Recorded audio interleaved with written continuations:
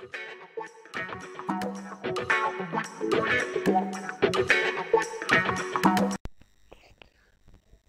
عليكم ورحمة الله وبركاته. أهلا وسهلا بيكم في تاني حلقة من سلسلة حلقات General Inorganic Chemistry.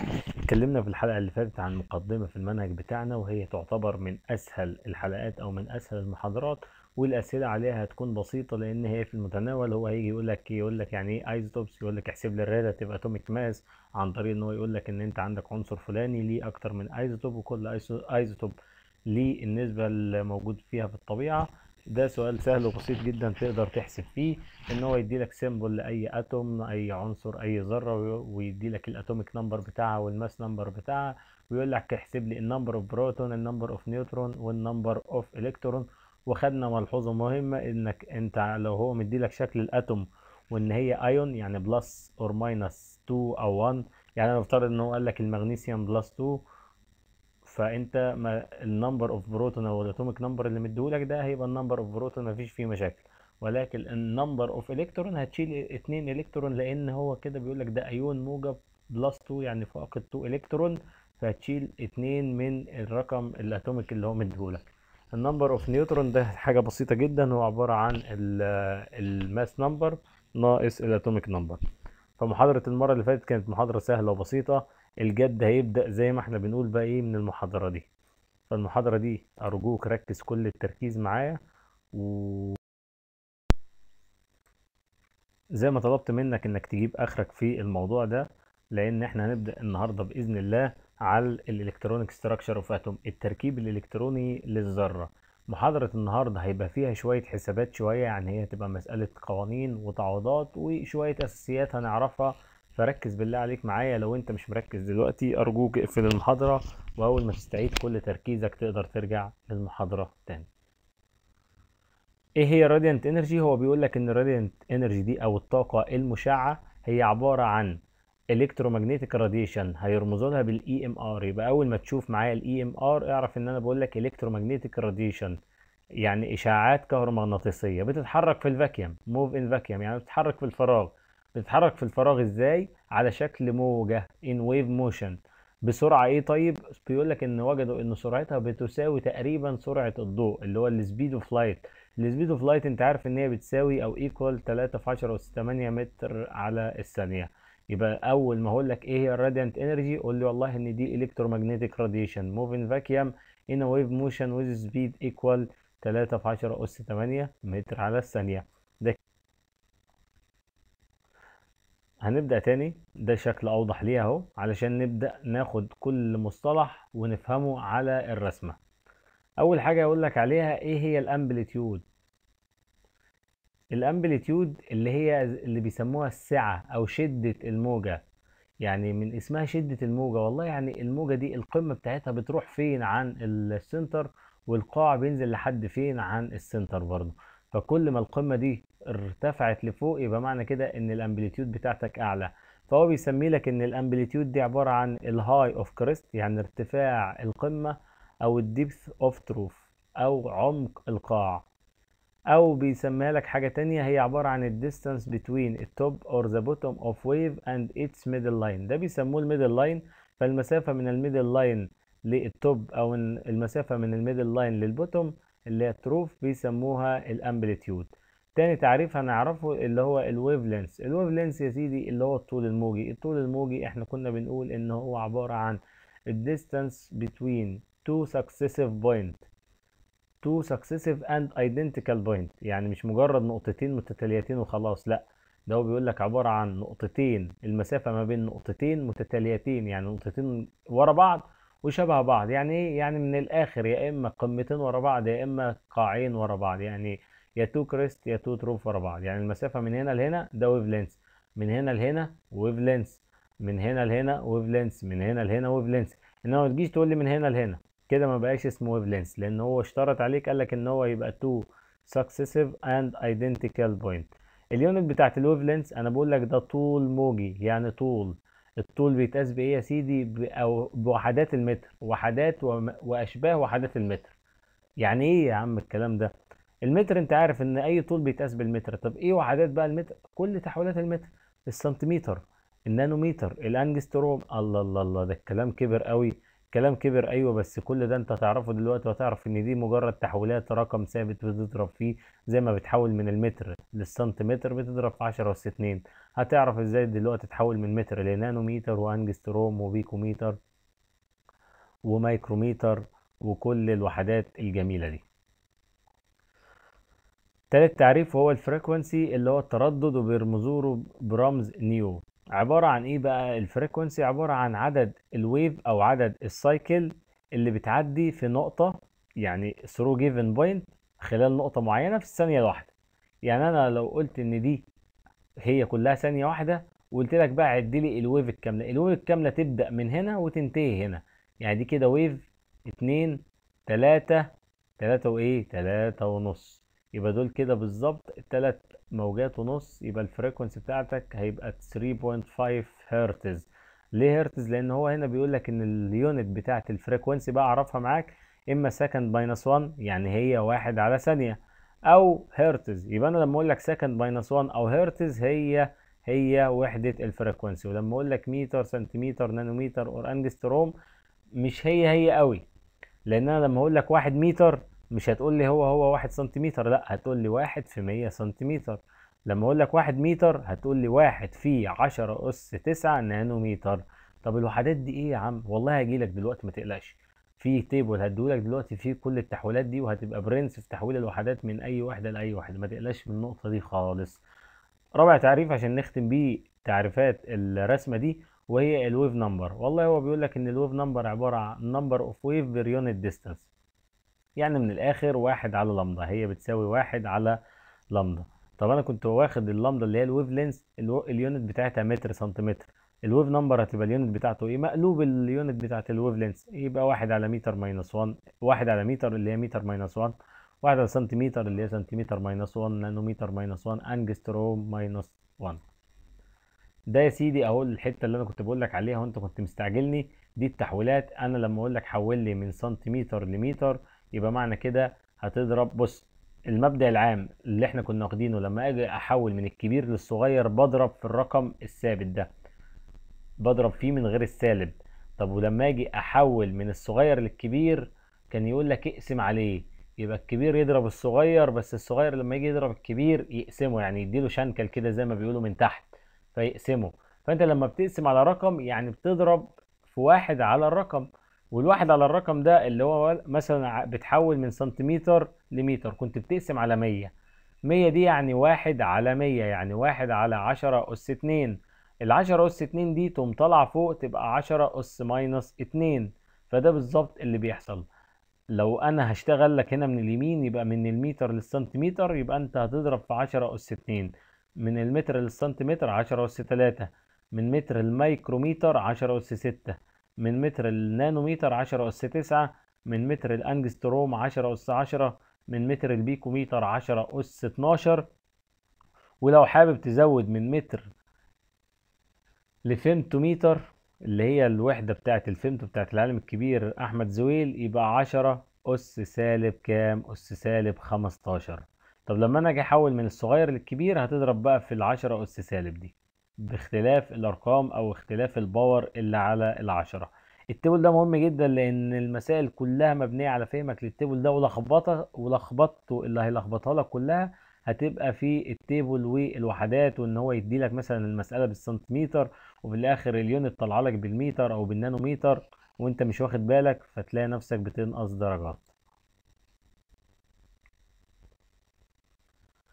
معلومة لازم تبقى أنت عارفها ودي معلومة منطقية إن كل ما ال amplitude أو كل ما ال intensity ال amplitude زادت كل ما الشدة أو السعة بتاعت الموجة زادت ال intensity بتاعت ال wave زادت. طبيعي يعني أنا زي ما قلت لك إن خلينا نتكلم بشكل عملي. شايف الشكل الجميل ده؟ أنت عندك ده العصفورة حاجة رقيقة كده. ال intensity أو ال amplitude بتاعت ال wave بتاعتها حاجة بسيطة جدا.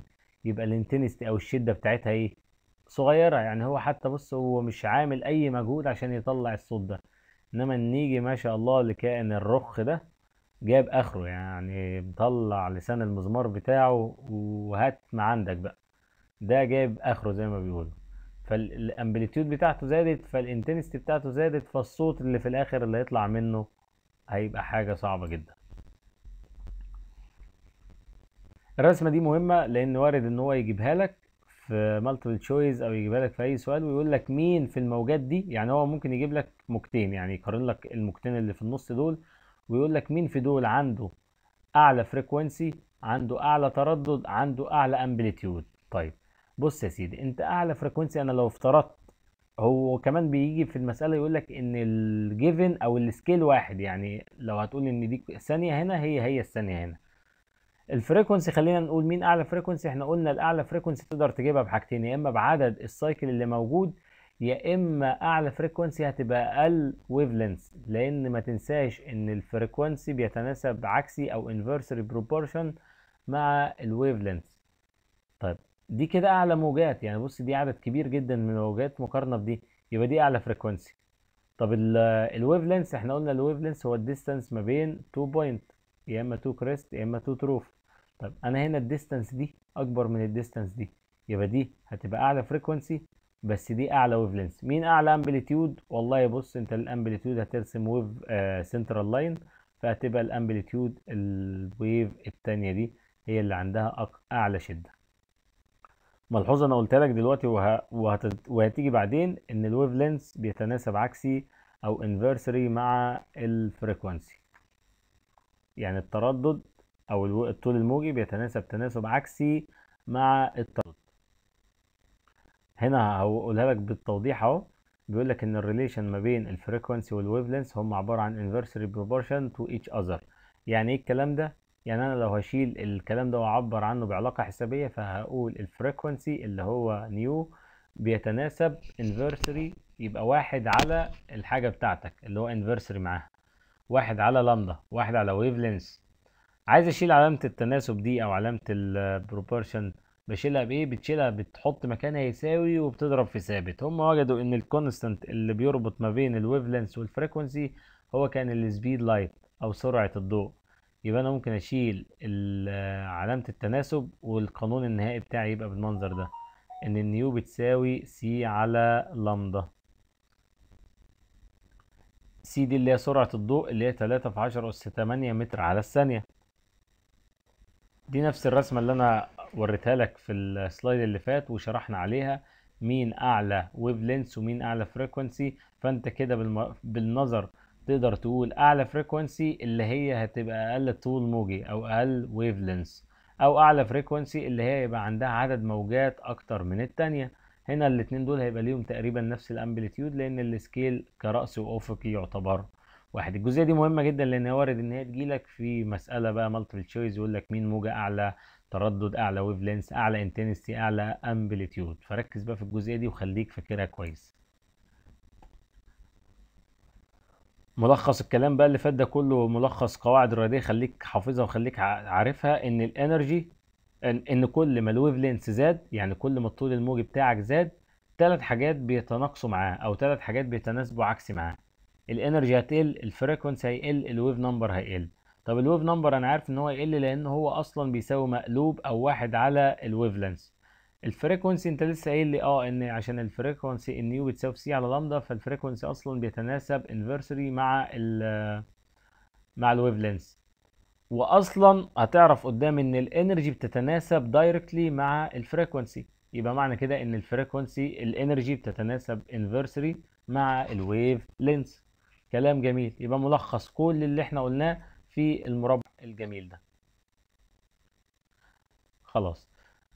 ننقل على موضوع تاني وهو ال electromagnetic radiation أو ال EMR إيه هي بقى ال EMR بص يا سيدي أي ضوء أي اشعاعات في الدنيا دي كلها بيحكمها scale واحد لازم تبقى عارفه وحافظه من الشمال لليمين من أعلى طاقة لأقل طاقة من أعلى wave length لأقل wave length زي ما أنت هتشوف معايا دلوقتي.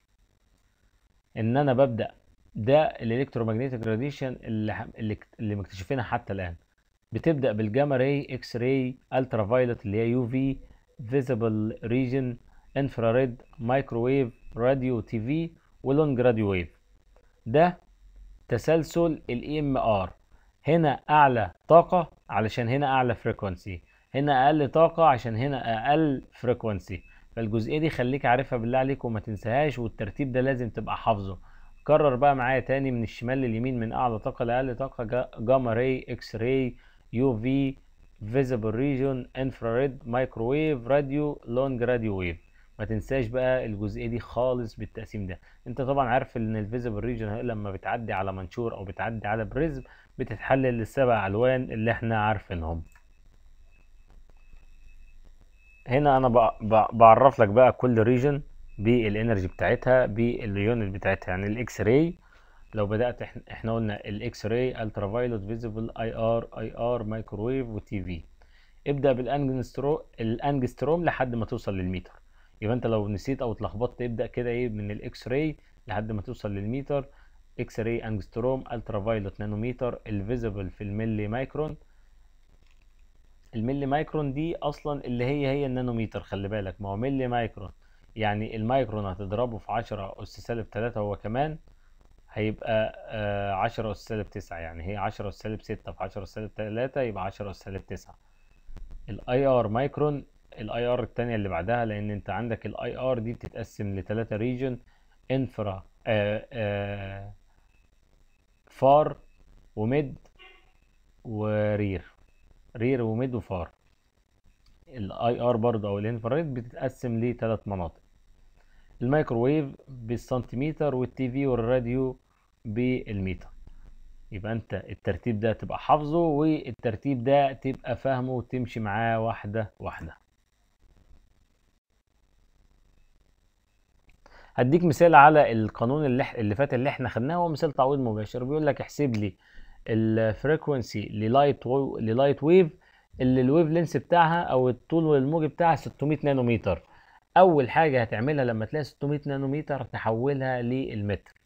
من نانومتر للمتر هتضرب فيه 10 أس سالب 9 يبقى هتقول له إن ال- ال wave length بيساوي 600 في 10 أس سالب 9 اكتب قانون ال- nu بتاعك أو قانون ال frequency اللي إحنا واخدينه إن هو ال nu بتساوي في C على لامدا.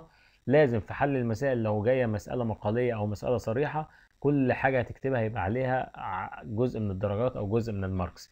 فلازم أكتب القانون ما ينفعش أكتب تعويض مباشر على طول. هو عارف والله إن ده على ده بس لازم تكتب له القانون. وتعوض وبعد وتكتب له كمان ال wave length بعد ما حولته للمتر. وتحسب الحسبة بتاعتك وأهم حاجة ما تنساش الوحدات. يلخبطك في المسألة دي لو جابها لك multiple choice ويقول لك الاختيارات بقى. إن ال frequency الرقم ده في second minus 1 ولا نفس الرقم ده في آه، هرتز ولا نفس الرقم ده آه، ويغير لك فيه ويقول لك آه، يحط لك نفس الرقم ده ويكتب لك second ويحط لك الإجابة الرابعة A و B اللي هم كانوا second minus 1 وهرتز. يبقى بص هو هنا إيه لعب معاك على الوحدات ما لعبش معاك على الأرقام. فأنت الوحدات حاجة مهمة جدا. الرقم من غير وحده ملهوش وحده ملهوش قيمة. meaningless ملهوش قيمة useless ملهوش فايدة. يعني انت لو جيت قلت لي أنا معايا 500 طب أنا عارف أنت معاك 500 إيه؟ هل 500 جنيه ولا 500 ألف ولا 500 أي حاجة؟ معرفش أنت معاك إيه ولكن لما تقول لي والله أنا معايا 500 جنيه خلاص أنت رقمك كده واضح. والله لما تيجي تقول لي أنا 73 طب أنا عرفت أنت 73 إيه؟ هل ده يعني طولك ولا وزنك ولا حجمك ولا ارتفاعك؟ فلما تقول لي والله أنا 73 كيلو فخلاص أنا كده عرفت إن وزنك 73 كيلو. فالرقم من غير يونت ملوش أي لازمة. مسألة تانية كده حاجة بسيطة ك... كاستنتاج بقى. دي بيقول لك والله أنت عندك pendulum اللي هو البندول عمل في أربع ثواني 1 cycle احسب لي ال frequency بتاعك. من قانون ال frequency إن هو عدد الموجات في الثانية الواحدة. ده ده هو خد في أربع ثواني يعمل موجة واحدة أو يعمل 1 cycle فقانون ال nu أصلا عبارة عن مقلوب ال time اللي هي واحد على ال T يبقى واحد على أربعة يبقى 0.25 هرتز يعني خمسة وعشرين من مية هرتز أو خمسة وعشرين من مية second minus 1 ماكس بلانك وال quantum theory ماكس بلانك ده بقى إيه؟ عالم من العلماء المحترمين في مجال الكيمياء واللي ليهم إسهامات كبيرة جدا في مجال الكيمياء. ماكس بلانك قال لك إيه بقى؟ ماكس بلانك قال لك حاجة حلوة جدا. قال لك إن ال atom أو ال molecule يعني الذرة أو العنصر يقدر يمتص أو يعمل emission يعني يعمل absorption أو emission للطاقة والطاقة دي قال لك بتبقى quantized يعني حاجة محددة مش أي حاجة والسلام. يعني أنت كعنصر أو molecule والله تقدر تمتص جزء من الطاقة أو تفقد جزء من الطاقة. وسمى الحاجة الحتة دي quantum فال quantum هي أقل كمية من الطاقة smallest amount of energy can be absorbed or emitted. يبقى أقل كمية من الطاقة الجزيء أو العنصر يقدر يمتصها أو يقدر يفقدها. ده الرسمة بتاعت ال absorption والله أنا عندي هنا إلكترون أو عندي اعتبر إن دي atom في ال ground state اللي هو بيكون أكثر stability لأي ذرة هو ال ground state بتاعها. نزل ضوء ولا نزل أي مصدر للحرارة إداها طاقة بمقدار ال H nu فانتقلت للمستوى الطاقة الأعلى يبقى هي كده عملت absorption. بعد جزء من الوقت هتفقد نفس الكمية الطاقة اللي امتصتها. يبقى هنا كانت ال delta E بقت بال plus هنا هتبقى بال negative إن هي طلعت الطاقة اللي امتصتها. فالرسمة دي بتقول لك والله إن ال absorption هو transition من ال lower energy لل higher energy ال emission بالظبط إن أنت بتعمل transition من ال higher لل lower والله كأنك بتاخد فلوس وبتدي فلوس. أنت بتاخد فلوس يعني خدت absorption بقى ال 200 جنيه من الحاج فأنت كده بقى إيه اتنقلت انتقلت من مستوى تحت لمستوى عالي بقى. بدل ما كنت هتفطر عند عمرو بتاع الفول هتدخل تفطر عند ماك. طب الفلوس بقى خلصت هتقوم راجع تاني لل لل lower state بتاعك وتروح تاني يوم تفطر عند عمرو وتكمل بكوباية الشاي من جنبه. فده مفهوم ال absorption وال emission ومفهوم ال quantum ده رسمة تانية برضو إيه بتوضح لك إيه اللي بيحصل. انت عندك هنا الإلكترون أو الذرة موجودة في ال ground state بتاعها بتكتسب جزء من الطاقة أو طاقة خارجية جاية لها وتطلع تلف. أول ما بتفقد الطاقة السهم الأحمر اللي أنتوا شفتوه ده ترجع تاني لل ground state بتاعها. يبقى تاني أنا بأكد عليك إن ال energy direct proportion مع ال frequency أي آه، علامة تناسب علشان أشيلها ب equal لازم يبقى فيه ثابت. في الحالة دي الثابت بتاعي هيبقى الثابت العالم الكبير ماكس بلانك اللي هو H يبقى ال E بتساوي اتش نيو ماكس بلانك ال constant بتاعه كام؟ 6.63 في 10 أس سالب 34 جول في ثانية. خلي بالك دي جول في ثانية مش جول على ثانية أو مش جول في ثانية. في second minus 1 تمام. أقدر أحول القانون ده آه والله أنت ال nu نفسها تقدر تشيلها وتحط مكانها C على لامدا من القانون اللي خدناه من شوية. يبقى ال energy بتساوي اتش نيو أو بتساوي H في C على لامدا وأنت عارف إن الواحد على لامدا أو الواحد على ال wavelength بتساوي ال wave number يبقى دول الثلاث أشكال للقانون ال energy من استنتاجات ماكس بلانك اللي تقدر تطبق أي قانون فيهم علشان يفيدك لصالح المعطيات أو لصالح المطلوب في المسألة اللي هو عايزها منك. ده قانون هو بيقول لك إن ال nu بتساوي C على لامدا. ده إن ال wave number بيساوي واحد على لامدا. عم أينشتاين بقى. عملت إيه يا عم أينشتاين؟ مش سايبنا في حالنا أنت. والله يا عم أينشتاين قال لك إن الضوء في الكيمياء القديمة أو في ال classical chemistry أو في ال classical mechanics أو في ال classical quantum كانوا بيقولوا إن هو particle جسيم. وأطلقوا عليه رمز الفوتون. أو مسمى الفوتون. جه اينشتاين قال لك لا والله هو بجانب ال particle nature بتاعته هو ليه wave nature. يبقى فسماه الطبيعة المزدوجة للضوء. واللي القانون المشهور اللي انت عارفه دي القانون ده بيمثل ال particle nature بتاعت الجسيم. ان مقدار جزء من الطاقة ال- الجسم هو اللي بيبقى ليه mass يبقى ال E بيساوي M في C square تمام؟ تمام. هنا مثال كده بسيط على القوانين اللي فاتت بيقول لك والله احسب لي ال quantum energy يعني احسب لي ال energy اللي يقدر يعمل لها absorb أو emission عادي مفيش مشكلة لو قالها لك كده أو كده لل yellow light اللي ال wavelength بتاعه 589 نانومتر. أول حاجة تفكر فيها في حل المسألة دي هتكتب القانون تمام اللي هو ال E equal HC على لامدا لأنه هنا مديلك ال wave length اللي هي اللامدا دي لازم تحولها للمتر. يبقى 589 تضربها في 10 أس سالب 9 عشان بحول من نانومتر للمتر. أنا كتبت القانون كتبت التعويض أدي سرعة الضوء اللي هو C وأدي ال H اللي هو ثابت بلانك. قسمت على ال wave length اللي مديهولي بعد ما حولته إن أنا ضربته في 10 أس سالب 9 هيديني قيمة ال E بالجول. ليه بالجول يا سيدي؟ لأن أنت هنا عندك متر على الثانية. وهنا جول في ثانية وهنا ال wave length بالمتر. المتر هيروح مع المتر اللي فوق والثانية اللي كانت هنا هتروح مع الثانية اللي هي مقسومة هنا اللي هي كانت تحت يتفضل لك الجول بس. ده مسألة تعويض مباشر وارد إن هي تجيلك وهتبقى حاجة من الحاجات المضمونة. بيقول لك خلي بالك والله إن الواحد الجول الواحد بيساوي 10 اس 7 erg فأنا ممكن ألخبطك في ال multiple choice إن أنا بدل ما أحسب لك أو أقول لك الناتج بالجول أحسبه لك إن ال erg في ال second ليه؟ لأن ده لو أنت تعوضت يعني بثابت بلانك بال erg. يبقى معنى كده إن الطاقة اللي هتطلع لك هتطلع لك بال erg مش بالجول. في الحالة دي أنت تعوض بثابت بلانك 6.63 في 10 سالب 27 erg per erg في ال second ليه؟ لأن هو بيقول لك إن الواحد جول بيساوي 10 اس 7 erg. دي حاجة ملحوظة صغيرة كده وما اعتقدش ان هو ممكن يلعب عليك بحاجة زي كده بس خليها في بالك برضه. سؤال تاني برضو تعويض مباشر هو بيقول لك انت عندك اتنين ضوء واحد wave واحد ultraviolet واحد yellow ومدي لك ال frequency هو في الحالة دي مدي لك ال frequency احسب لي الطاقة. والله هتقول له إن الطاقة بتاعه ال UV هتكتب القانون الأول لازم تكتب القانون في المسائل. لو المسألة جاية لك مسألة مقالي لأن كتابة القانون هيبقى عليها جزء من ال marks بتاعتك. يبقى هتقول له إن الاي بتساوي اتش في سي لا بس في الحالة دي هو مدي لك ال frequency يبقى ال E بتساوي H nu عندك ال H اللي هو ثابت بلانك هتعوض بيه وعندك ال nu هو مديهولك هتعوض بيه في second minus 1 يبقى الطاقة اللي هتطلع لك بالجول. لأن الماكس بلانك كان جول في الثانية وتقسم على الثانية بتاعة ال frequency يتفضل لك الجول. نفس اللي عملته في ال UV أو في ال ultraviolet هتعمله في ال yellow هيطلع لك رقم.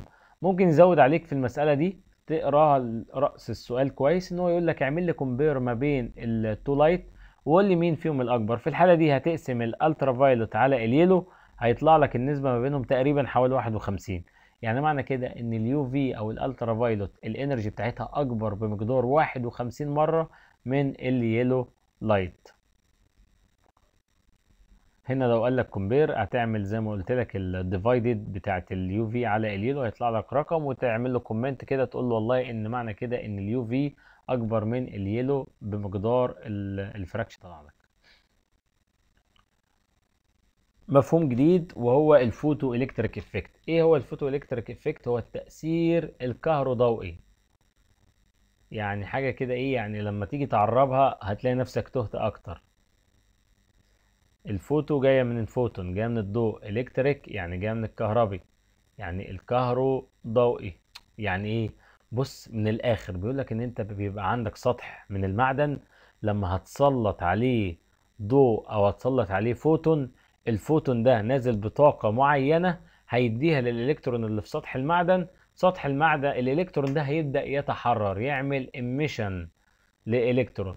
عندك إلكترون اتحرك تقدر تستفيد بيه داخل دايرة كهربية وتشتغل بيه ككهرباء يبقى معنى كده هو بيقول لك إيه بقى؟ إن ال photoelectric effect ده عبارة عن electron emitted from metal surface when light of certain frequency. يعني من الآخر ده عبارة عن إلكترون بيحصل له emission من ال metal surface لما الضوء اللي ليه تردد معين ما هو مش أي ضوء هتسلطه على المعدن هيحرر إلكترون. لا ده الضوء ده لازم يبقى ليه مواصفة معينة. إيه طيب المواصفة المعينة أو ال criteria المعينة بتاعته؟ قال لك لازم يبقى عنده frequency بيسموه critical frequency أو threshold frequency. يعني التردد الحرج أو تردد الحاجز. المصطلح ده بالله عليك مهم جدا واحفظه وخليه على جنب علشان أنا هقوله لك دلوقتي التعريف الكامل بتاعه. بس معنى الكلام اللي أنا قلته لك إن مش أي ضوء هينزل على سطح المعدن هيحرر لك الكترون لازم يبقى عنده أقل حاجة ال critical frequency أو ال threshold frequency طب لو زاد والله لو زاد أو الطاقة بتاعته زادت هيطلع لك إلكترون بطاقة أعلى وإلكترون ب intensity أعلى. ده المنظر أهو. أنا عندي ضوء نازل light هيطلع لك إلكترون. الحاجة دي هم استفادوا بيها في إيه؟ استفادوا بيها في الآلات. لو أنت فاكر بيبقى عندك هنا خلية ضوئية بت... بتطبق نفس الفكرة بتاعت ال photoelectric effect أو بيقول لك إن أنت لما يبقى عندك when photon strike the metal يعني لما يجي فوتون أو ضوء يضرب سطح المعدن ال energy بتاعه الفوتون بيحصل لها transfer للإلكترون يعني بتحرر الإلكترون خلاص. وإن كل ما شدت أو ال intensity بتاعت ال light اللي نازلة دي زادت كل ما عدد الإلكترونات اللي هيطلع معاك زاد. يبقى معنى كده الكهرباء اللي أنت تقدر تستفيد بيها هتزيد. ال energy of photon أو الطاقة بتاعت الفوتون اللي نازلة آه، هتتناسب مع ال frequency of light مفيش مشاكل وده كلام منطقي. أي energy بتتناسب directly مع ال frequency إيه بقى ال threshold frequency يا سيدي؟ بيقول لك إن هو ال minimum frequency required to emit or eject electron from metal surface. يعني أقل طاقة اعرف التحفيظ التعريف ده بقى احفظه ال threshold frequency أو ال critical frequency في ال photoelectric effect the minimum frequency required to emit or eject electron from metal surface. أقل تردد هحتاجه علشان أقدر أحرر أو أطلع إلكترون من سطح المعدن. بس أنا مش عايز منك أكتر من كده في الجزئية دي. إيه بقى اللي أنا شايفه ده؟ بص من الآخر هو بيقول لك إن الضوء عموما الضوء ده يا بيكون يا بوليكروماتيك يعني متعدد الأطوال الموجية يا إما monochromatic احادي الطول الموجي من اسمه poly و chrom chromatic أطوال موجية poly متعدد. يعني different wavelength زي ال sunlight ال sunlight اللي هو ضوء الشمس لو عديته على منشور ثلاثي أو prism بيت بيتقسم معاك لسبع ألوان اللي هم ألوان الطيف السبعة. ال monochromatic اللي هو الأحادي ده single wavelength زي إيه؟ زي الليزر حاجة ثابتة حاجة أنت عارف هتشتغل بيها هتبقى ثابتة معاك. وعلشان كده الليزر بيكون ليه تطبيقات أو application كتير في المجالات الطبية لأنه هو عارف هو هيشتغل بيه إنما مش هيجيب ضوء كشاف ولا ضوء شمس يشتغل بيه. هو مش هيقدر أصلا يحدد الضوء أو يحدد ال area أو ال region اللي هو هيشتغل بيه. ال spectra أو الأطياف بتتقسم برضو لنوعين يا إما continuous يا إما line ال continuous يعني حاجة زي الحزمة أو حاجة زي ال patch ـة ما تعرفش إيه تفصل ما بين الحاجات اللي فيها. يعني ال white light لما يعدي على ال prism هيدي لك حزمة هيدي لك continuous range في كل الألوان أهو ده ال continuous أهو. عديت على منشور ادالك كل الألوان. بص مفيش فواصل يعني هم يعتبر إيه mix مع بعض داخلين مع بعض. إنما ال line والله ال line spectrum دي حاجة أو آه، مصدر هيديلك أطوال موجية محددة أو ألوان محددة يعني ثلاث أو أربع ألوان وزي ما أنت شايف. تقدر تميزهم ومفصولين عن بعض فصل كويس. يعني ده الأحمر ده ال orange ده ال yellow ده ال green مفصولين عن بعض. إنما هنا بص حزمة واحدة patch ـة واحدة زي ما بيقولوا حاجة continuous إنما هنا line خطوط منفصلة عن بعض. يبقى ده اللي أنا عايزك تبقى عارفه في ال light إذا كان polychromatic أو monochromatic ال spectra إذا كانت continuous أو line spectrum نقفل بقى صفحة على اللي فات لأن اللي جاي ده شغل تاني خالص وحاجات بقى إيه عايزة تفتح دماغ منك وعايزة إنك تبقى مركز جدا والجزء اللي جاي ده لازم هتتسأل فيه بأي شكل من الأشكال لازم هتتسأل فيه لأن هو من أهم الأجزاء اللي في محاضرة النهاردة ومن أهم الأجزاء اللي هتتعرض ليها أصلا في منهج الكيمياء بتاعك. خلصت أنت بقى عرفت ال polychromatic وال monochromatic وال line spectrum وال continuous spectrum وعرفت الشغل بقى بتاع اينشتاين والشغل بتاع ماكس بلانك والجمال والكلام الجميل ده والعلاقات وإزاي تحسب ال frequency أو إزاي تحسب ال energy لو اديتك wavelength لو اديتك frequency التحويلات ما بين الأطوال يعني أنا اديت لك حاجة بالمتر وقلت لك حولها لي بالنانومتر لو اديت لك حاجة بالأنجستروم وهكذا كل التحويلات دي لازم تحفظها زي اسمك لأن دي التحويلات دي بقى بجد من ضمن الحاجات اللي بتكمل معاك لبعد الكلية. بتروح تشتغل بعد كده في معمل في شركة في مصنع في أي مكان الشغل ما بيبقاش يعني ما بدي لا مش هبدي لك أنا حاجة بالجرام والكلام ده. لازم هتستخدم بقى التحويلات دي فالتحويلات دي حطها في دماغك وكمل عليها وما تنساش أبدا. العالم اللي هناخده دلوقتي والإفكت أو التأثير بتاعه كانت حاجة مهمة جدا لأن بناء على نظرياته والحاجة والقاعدة اللي حطها في علماء كتير جم اشتغلوا بعد منه وقدروا يطلعوا لنا حاجات أجمل وأجمل في الكيمياء. العالم ده إيه بقى؟ العالم ده يا سيدي اسمه ريدبرج. ريدبرج اشتغل على ال spectrum بتاعت ال hydrogen atom. يعني الأطياف اللي بتطلع من ذرة الهيدروجين atom لما تفكر تعمل لها إثارة أو لما تفكر تعمل لها excitation وهي بعد ما بيتعمل لها excitation بيحصل لها relaxation حط علاقة لما درس ال spectrum دي قال لك إيه بقى؟ قال لك إن ال wave number equal واحد على لامدا اللي هو واحد على طول الموجي. بص هو العلاقة العامة بتاعته كانت ال wave number equal R في اللي ما بين ال two brackets دول أو اللي ما بين القوسين دول. واحد على n 1 square minus 1 على n 2 square. بحيث بقى وإنت بتعوض في العلاقة دي لازم n 2 اللي هتكتبها تبقى هي أكبر من ال n 1 بخلاف اللي قايله لك في المسألة بتاعتك.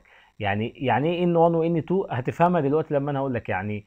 بس لازم لازم لازم في مسألة ريدبرج أو لما هتعوض بعلاقة ريدبرج لازم n 2 تبقى هي اللي أكبر من n 1 طب اشمعنى؟ لأن ال wave number أو ال wavelength دي أطوال.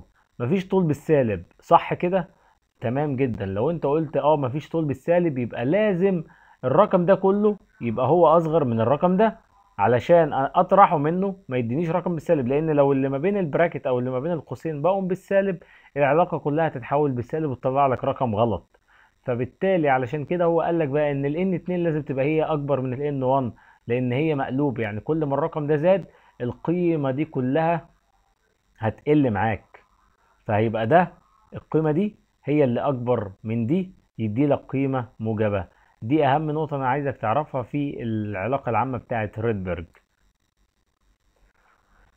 ال R ده ممكن يقول لك آر أو الار إتش ده اللي هو ريدبرج constant طبيعي إن كل عالم بيكتشف علاقة لازم يسمي ال constant بتاعه بالاسم هو. يعني أمال هو تعب ليه بقى؟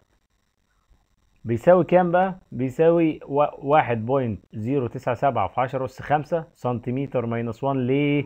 لأن هو في الآخر بيتكلم في ال wave number يعني الواحد على لامدا دي هو مش دي العلاقة الأساسية. أنا حاططها لك علشان هي اللي هتسهل لنا حلول المسائل. هو الراجل حط علاقة ما بين ال wave number وال right hand ده.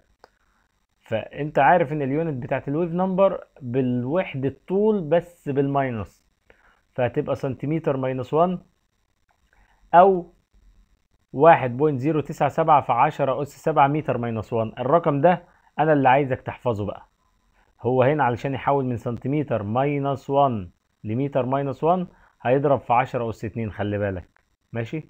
هو هنا مش هيقسم لأن أنت هنا بتضرب في minus 1 يعني هي العلاقة في الآخر كانت اسمها بس اسم في واحد على واحد على 100 يعني ده كان الأساسي. عشان تحول من سنتيمتر minus 1 لمتر minus 1 هتضرب في واحد على واحد على 100 ال 100 اللي هي كانت المقام تحت هتطلع فوق يبقى هي بقت كأنه هو ضرب على طول في 100 فأنا عايزك تحفظ الرقم ده لأن هو ده اللي أنت هتعبر بيه في المسائل بتاعتك. تاني بفهمك الموضوع إن ال atom لما بتمتص جزء من الطاقة أو تعمل absorption في صورة اتش نيو فبيحصل excitation أو absorption إن الالكترون بينتقل عندك من مستوى طاقة lower أو من lower level energy ويطلع لل higher energy level ولكن في حالة ال emission emission دي يعني فقد الحاجة اللي هو اكتسبها. فبينزل لتحت تاني فكده معناه إن هو بينزل أو بيتحرك transition من ال higher level لل lower level والجزئية دي ممكن تجي لك في multiple choice أو في right or wrong يعني يجيب لك اختيارات يجيب لك صح وغلط ويقول لك والله في حالة ال absorption عندك بيحصل transition من ال higher لل lower غلط. absorption يعني بص يا سيدي أنت كأنك يعني واحد بيدي لك حاجة وأنت اللي كنت فوق منه يعني اللي تحت هو اللي بيناول اللي فوق. فانت بتاخد من اللي تحت. يبقى ال absorption إن حاجة هتطلع من تحت لفوق.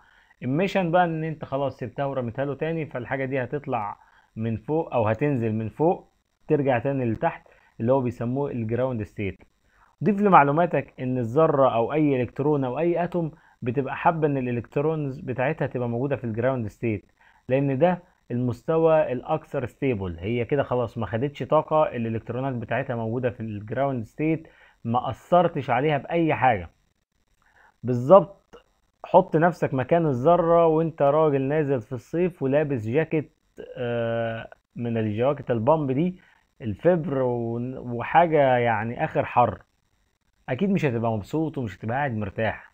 طب إيه يا سيدي ال ground state بتاعك في الحالة دي؟ والله إنك تقلع الجاكيت لأن الجو مش مستاهل إنك تلبس جاكيت. فالطاقة اللي اتكونت عندك والحرارة اللي اتكونت تحت الجاكيت بمجرد ما هتقلع الجاكيت شوية هتبدأ بقى إيه الحرارة بتاعتك تتعادل مع الجو تبدأ بقى ترجع أنت لحالة ال relaxation بتاعتك. بالظبط كده. هو ده اللي أنا عايزك تفهمه من الجزئية دي. القانون خلاص قدام منك علشان القانون ده هتحل عليه مسائل كتير جدا وهتفهم منه حاجات كتير لأن بسبب القانون ده في شوية علماء كده اشتغلوا عليه وهنعرف طلعوا لنا إيه.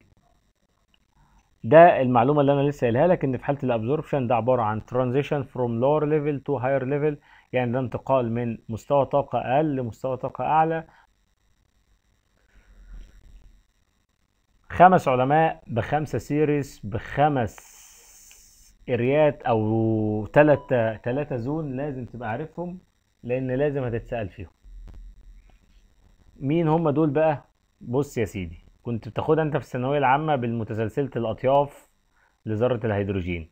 ليمان بالمر باشن براكت فوند. خمس علماء كل عالم اشتغل على حتة أو قدر يكتشف حاجة سماها باسمه. متسلسلة أو ليمان series بالمر باشن براكت فوند اللي أنا عايزك بقى تعرفه منه إيه بقى؟ المعلومات الأساسية. ال zone أو ال region اللي بيقع فيها ال emission ده. يعني ليمن ultraviolet بالمر بيقع في ال visible region باشن وبراكت وفوند بيقعوا في ال IR أو ال infrared ولكن باشن بيتميز إن هو في ال near infrared يعني ال IR المتوسطة أو القريبة. والبراكت والفوند بيقعوا بيقعوا في ال far infrared وخلي بالك وزيد لمعلوماتك إن ما بين ال near وال far infrared بتقع region تانية اسمها mid infrared بس اللي أنا عايزك تعرفه كل series من دول بتطلع الري... بتطلع ال spectra of أنهو region لأن دي هتجيلك يا إما multiple choice يا إما right or wrong فدي حاجة مهمة جدا. الحاجة التانية اللي أنا عايزك تعرفها هو كل series من دي أو كل سلسلة من دي ال N1 بتاعتها بكام؟ أو ال N initial بتاعتها بكام؟ من البداية أنت رتبهم تسلسلي وحط الأرقام من واحد لخمسة. ليمن n بتساوي واحد بالمر n هتساوي اتنين باشن n هتساوي تلاتة براكت n هتساوي أربعة فوند n هتساوي خمسة.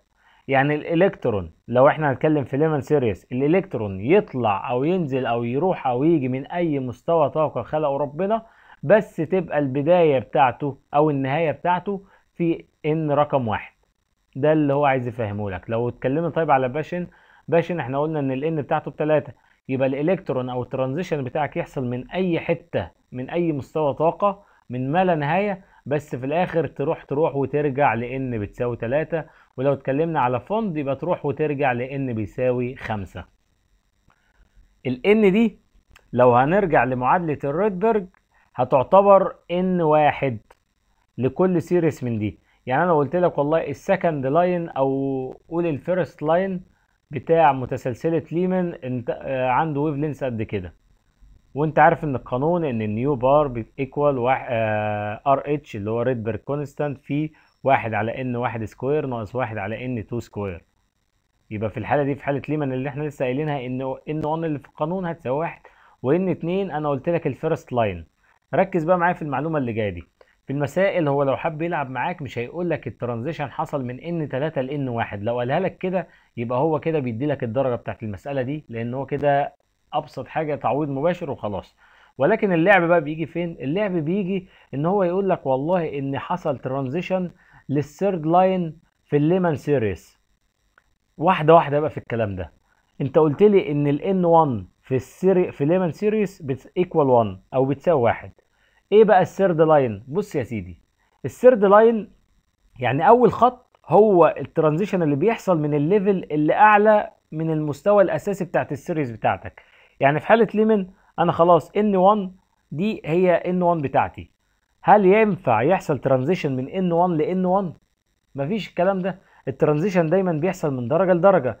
انت لو طالع السلم يعني ما بتمشيش ما بتقفش على نفس الدرجة وتقعد تمشي لي بالعرض فيها وتقول لي أنا كده انتقلت من درجة لدرجة. لا انت ما زلت في نفس الدرجة ومحدش بيعمل كده. انت لما تيجي تطلع السلم بتطلع درجة على درجة.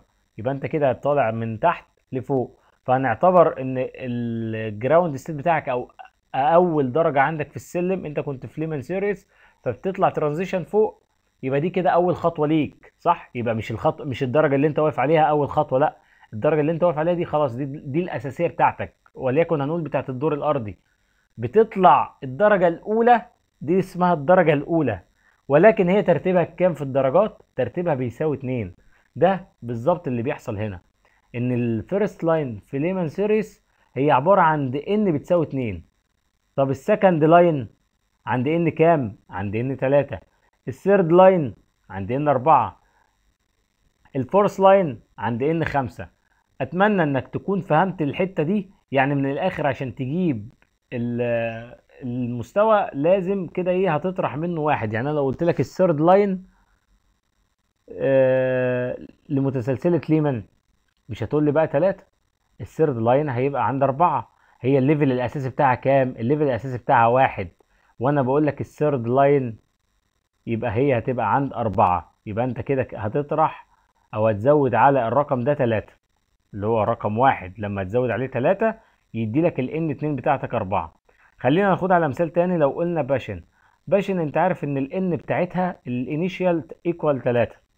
طب أنا لو قلت لك ال first line يبقى هتزود واحد. يبقى بقت ال N2 بأربعة. طب لو قلت لك ال third line أو ال fourth line لو قلت لك ال fourth line بتاع باشن أنت عارف إن في باشن ال N1 أو ال N initial بتلاتة وقلت لك ال fourth يبقى الخط الرابع يبقى هتزود على ال initial بتاعتك عدد الخطوط اللي أنا قلتها لك يبقى 3 زائد 4 هيساوي 7 2 3 4 أهو. أدي الخط الأول أدي الخط الثاني أدي الخط الثالث أدي الخط الرابع. يبقى تجيبها بقى بطريقة التزويد بس لازم تبقى عارف ال n initial بتاعتك صح. يا إما ترسمها في دماغك وتتخيلها لو نسيتها لأن أنت لو فاهم الرسمة دي لو لا قدر الله نسيت الموضوع اللي أنا بقول لك عليه إنك تجمع ال n initial بتاعت ال series على الخطوط اللي قال لك عليها إن كان الخط الأول الثاني الثالث يبقى أنت كده هتعرف تجيبها صح. نسيتها يبقى أنت عارف الرسمة وتبدأ تمشي مع الرسمة واحدة واحدة. أنت بص ممكن تقدر تيجي من ال n ما لا نهايه ما عندوش أي مشكلة.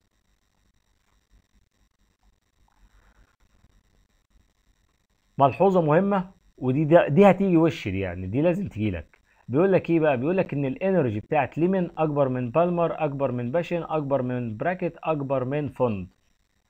الطاقة بتاعت ليمن أكبر من بالمر لحد ما توصل لفوند وده منطقي لأن أنا قلت لك إن ليمن في ال ultraviolet وفوند في ال infrared. وخدنا إحنا من كام سلايد كده إن ال ultraviolet energy أكبر في الطاقة من ال visible أكبر في الطاقة من ال infrared أكبر من الطاقة في الراديو طب العكس لل لل wave يعني أنا لو قلت لك السؤال ده هيجيبه لك بال energy هيجيبه لك ب wavelength فلازم تبقى عارف إن أنا لو قلت لك energy يبقى هو ليه من أكبر حاجة. لو قلت لك wavelength هيبقى ليه من أصغر واحد فيهم ك wavelength لأن أنت كمان عارف إن ال energy inversely proportional with wavelengths يعني الطاقة بتتناسب تناسب عكسي مع الطول الموجي وتتناسب إيه بقى؟ لو أنت فاكر مع ال frequency أو مع التردد بتتناسب directly proportional يعني تتناسب تناسب طردي مع ال frequency أو مع التردد. خلاص الجزئية دي؟ مش هتنساها؟ وضحت؟ طيب يجيب لك بقى حاجة تانية ولو عايز هو بقى يلعبك بالكلام يقول لك إيه؟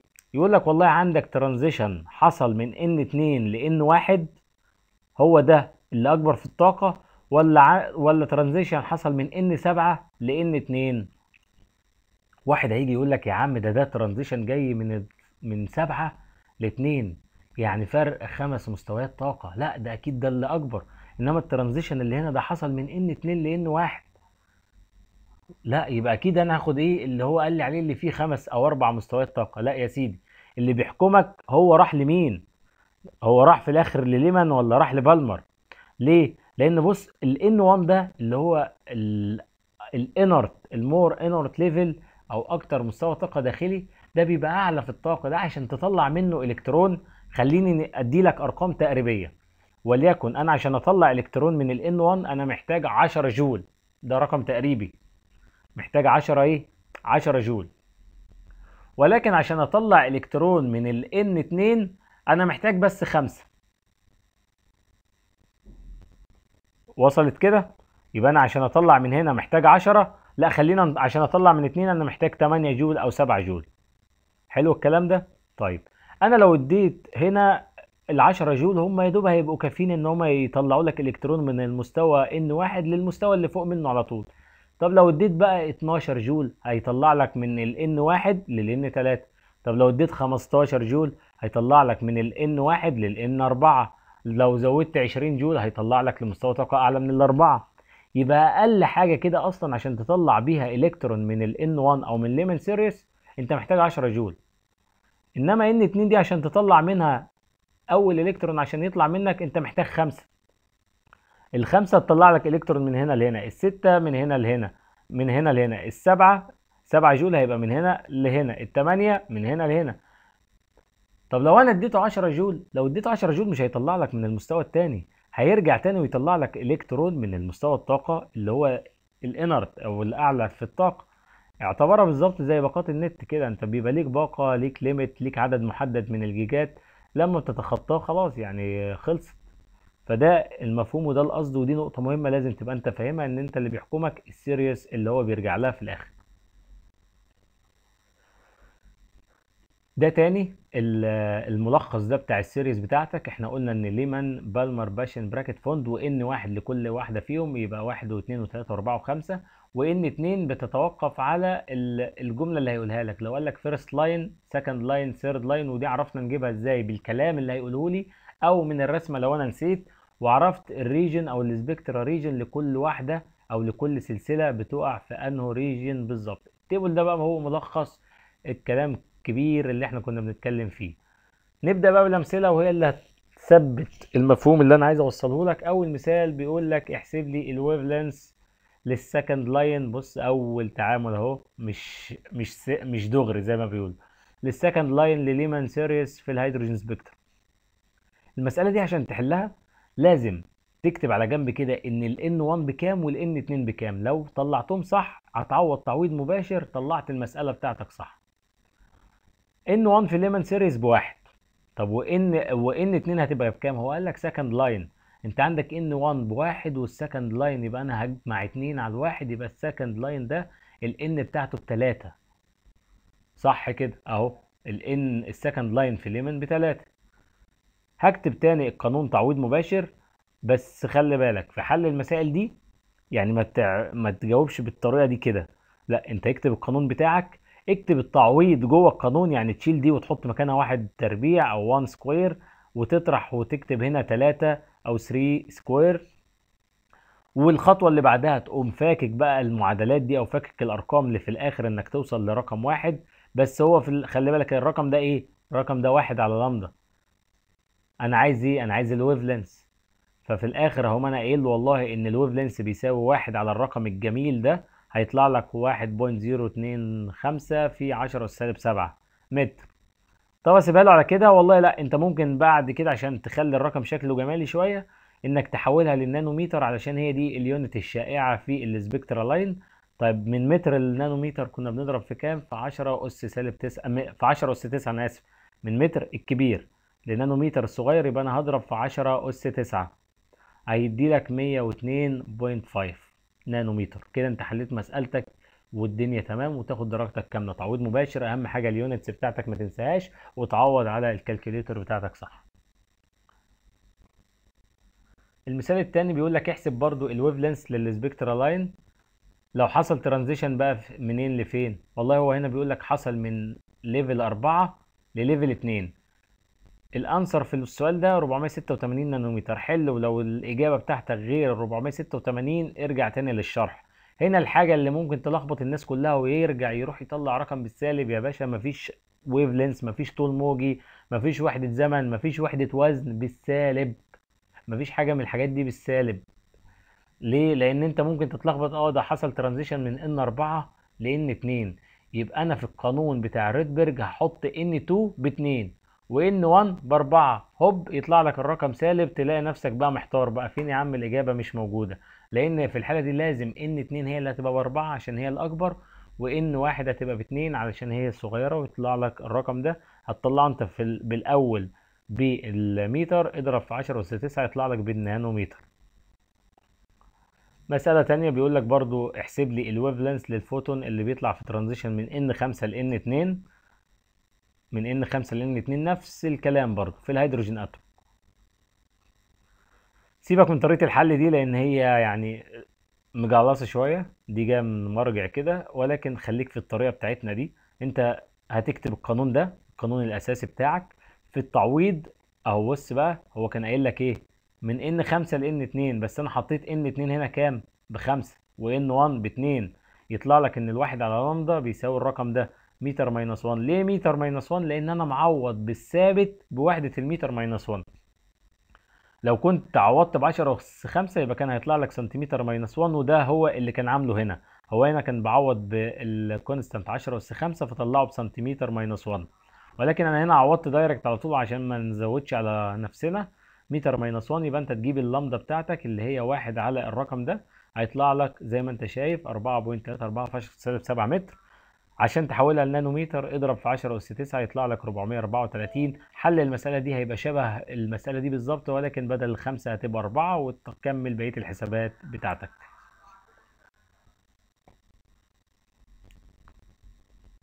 مسألة تعويض مباشر بيقول لك إيه هو ال wave length لل second line بتاع الباشن؟ لو أنت فاكر إحنا كنا بنقول إن ليمان بالمر باشن. باشن يعني ال n 1 بتاعته بتلاتة. هو بيقول لك ال second line يبقى ال n 2 فيها 3 زائد 2 بخمسة. ده برضو إيه مسألة تعويض مباشر زي ما إحنا متفقين وإن أنت بعد ما بتخلص بتحول بتعوض من متر تحول للنانومتر لو خدت بالك المرة اللي فاتت ليمان كان ليها wave length أقل كنت تتكلم في حوالي 400 أو 300 وشوية. لما خدت في اللي قبلها بتاعت بالمر كنت بتتكلم في 400 لما طلعت بقى الباشن بتتكلم في wave length 1200 يعني انت واخد بالك ان ال wave length في المتسلسلات بيمشي عكسي يعني ليمن أقل في ال wave length ولكن في ال energy زي ما اتفقنا إن ليمن أعلى في ال wave length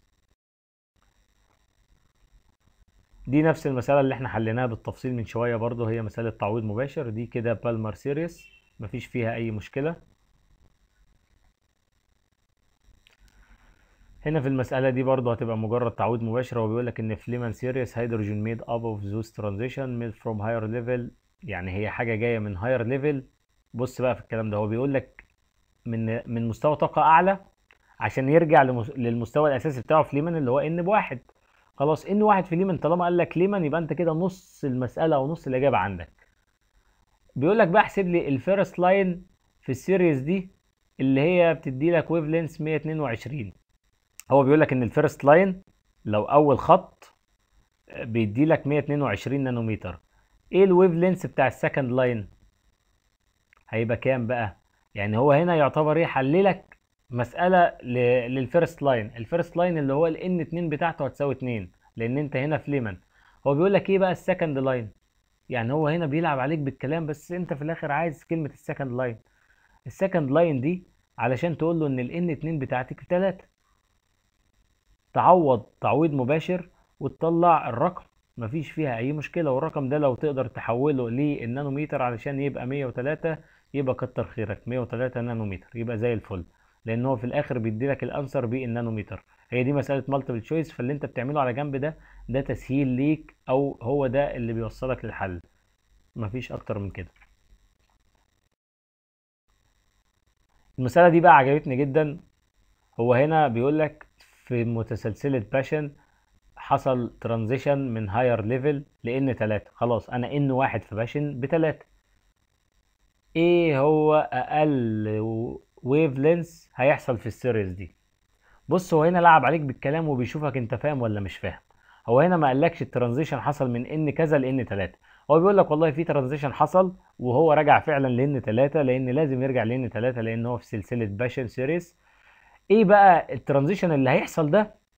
يعني يجي من n كام عشان يدي لك أقل wave length بص بقى أقل wave length يعني أعلى طاقة. أعلى طاقة يعني أنت هتيجي من أبعد مستوى طاقة في الذرة دي لحد ما توصل ل n 3 يبقى n 2 بتاعك ده أبعد واحد يعني آخر واحد. طب آخر واحد ده إحنا بنعبر عليه في الرياضة بإيه؟ بنعبر عليه بالما لا نهاية. يعني أنا لما أقول لك إيه هو ال shortest wave length يبقى أنا هاجي من أعلى مستوى طاقة فوق خالص لحد ما أوصل لتلاتة. يبقى n 2 في الحالة دي equal infinity يعني اللي هي بتساوي ما لا نهاية. عوض التعويض بتاعك هتلاقي نفسك في الآخر بتحط في العلاقة إن واحد divided infinity طب واحد على ال infinity لو أنت بقى لسه واخدها في الرياضة إن واحد على ال infinity equal zero يبقى ده كده بزيرو. يبقى المسألة خلاص هترسم معاك على الجزء ده اللي هي هتساوي 820 نانومتر. شفت انت بقى الجمال في الكلمة دي؟ الكلمة دي يحطها لك بقى في ليمان series في باشن في براكت في فوند لو قال لك short wave length يعني أعلى طاقة يعني جاي من بعيد خالص. يبقى infinity على طول. طب ممكن يعكسها لك ويحط لك حاجة تانية بقى.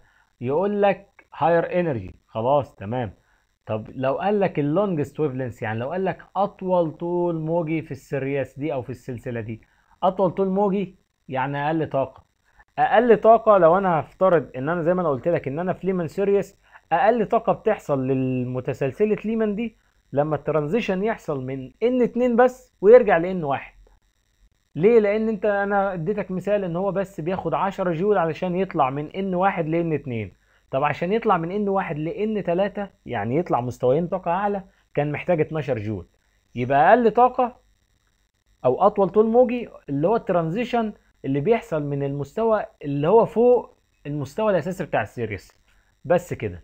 دي كده محاضرة النهاردة وده الجزء اللي لازم تبقى أنت عارفه وفاهمه كويس جدا وموضوع المسائل ده لازم تدرب نفسك عليه قوي. دور على النت النت مليان مسائل كده. اكتب بس ال spectral spectral series of hydrogen atom example وهتلاقي جميع المسائل اللي موجودة دي بالحلول بتاعتها worksheet من جامعات بره درب نفسك على قد ما تقدر لأن الحاجات دي كلها عايزة حلول. مش عايزة مجرد إنك تعرف معلومة أو معلومة صماء من غير apply أو من غير تطبيق هتتنسى معاك. ذاكر بالورقة والقلم وحل مرة واثنين وثلاثة وما تكتفيش إن الحل موجود قدامك. اكتبه على الورقة بتاعتك عوض بالآلة عندك أو بال calculator عندك عشان يبقى عندك سرعة في الامتحان إن شاء الله. كانت نهاية الجزء الثاني لو عايز الجزء الثالث أو إن شاء الله علشان يوصل لك الجزء الثالث أول ما ننزله ما تنساش تعمل subscribe وتفعل الجرس علشان أول ما الجزء الثالث ينزل يوصل لك notification بالموضوع ده إن شاء الله. لو في أي أسئلة أي استفسارات تقدر تبعت وأنا إن شاء الله هتجاوب معاكم وهرد عليكم. شكرا. بالتوفيق لكم إن شاء الله. والسلام عليكم ورحمة الله وبركاته.